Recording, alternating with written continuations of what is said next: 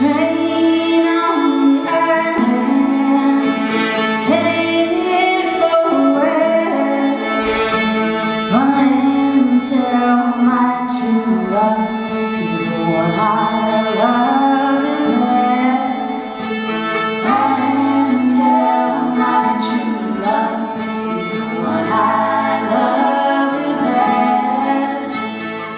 студенты консерваторий, которые умеют играть. Чем вы таким можете удивить, чего не научат в консерватории?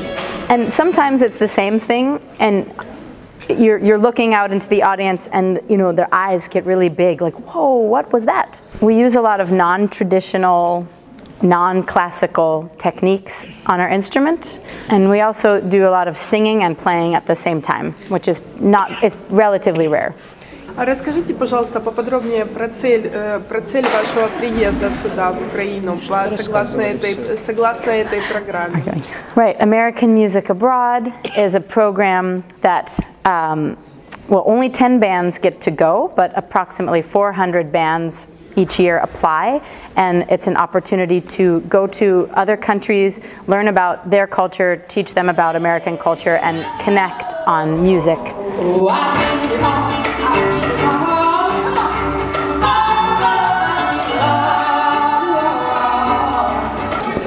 started about six weeks ago, so this is a project that we've been working on for a long time, and it's only possible for us to do it because of the partnerships that we have in Kyiv, outside of Kyiv, and throughout Ukraine.